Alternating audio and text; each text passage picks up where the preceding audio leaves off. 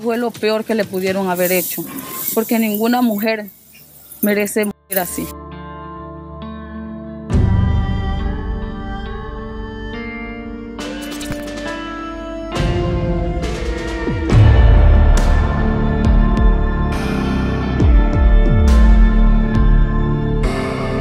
quería irse con sus hermanos, con su hermano, esos eran sus planes, de irse, llevarse a sus hijos y irse ella.